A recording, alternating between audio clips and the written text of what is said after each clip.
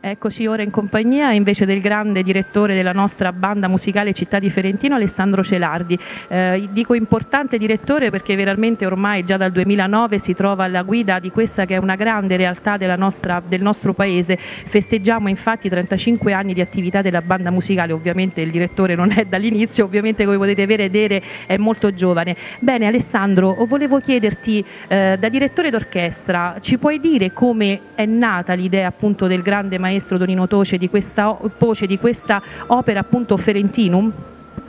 Eh, è il terzo anniversario che mi trovo a, eh, ad organizzare artisticamente e già dal, dal 25 abbiamo deciso di dedicare una parte della nostra attività alla committenza, cioè chiedere a, a compositori di scrivere per noi.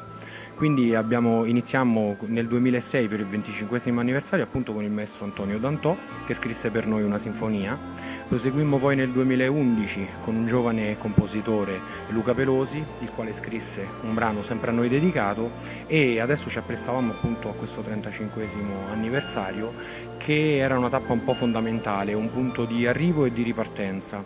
Abbiamo deciso quindi che la persona che più potesse rappresentare le nostre esigenze era appunto il maestro Antonio Poce che è di Ferentino ma non per questo, eh, ma dobbiamo insomma eh, eh, essere esserne ancora più orgogliosi e quindi abbiamo voluto chiedere a lui eh, di comporre, eh, secondo la sua dialettica, secondo il suo linguaggio, un'opera a noi dedicata. È nata così Ferentinum, quest'opera intermediale eh, che potrete apprezzare tra Ne siamo certi, ne siamo certi. Ti lascio subito alla tua serata.